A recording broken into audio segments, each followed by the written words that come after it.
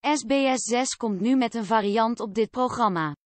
Hierin zullen niet de beste zangers, maar de slechtste zangers van ons land centraal staan, blijkt uit een kandidatenoproep die door RTL Boulevard-verslaggever Joost Mayburg is opgemerkt. Er wordt hard gezocht naar mensen die mee willen doen aan deze nieuwe tv-show. Kan jij echt niet zingen, maar heb jij altijd al jouw eigen single willen uitbrengen, luidt de kop van de oproep. Om mee te kunnen doen moeten de kandidaten echt heel slecht zingen. Smeekt jouw familie om je mond te houden als jullie samen in de auto zitten, of als jij onder de douche staat? Geef je dan nu op voor het nieuwe SBS 6-programma. Wat de slechte zangers kunnen winnen?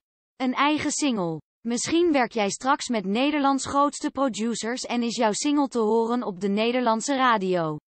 Samen met een team dat hits produceert voor nationale en internationale artiesten, duik jij straks de studio in. Om een originele track, niet alleen solisten zijn welkom bij deze nieuwe SBS6-show. Ken jij iemand of ben je zelf geïnteresseerd? Wij zoeken kandidaten vanaf 18 jaar, ook duo's zijn van harte welkom. Het is niet duidelijk wie deze show gaat presenteren, maar een ervaringsdeskundige op het gebied van valse optredens zou daar goed passen. Misschien kunnen ze Tino Martin een screentest laten doen.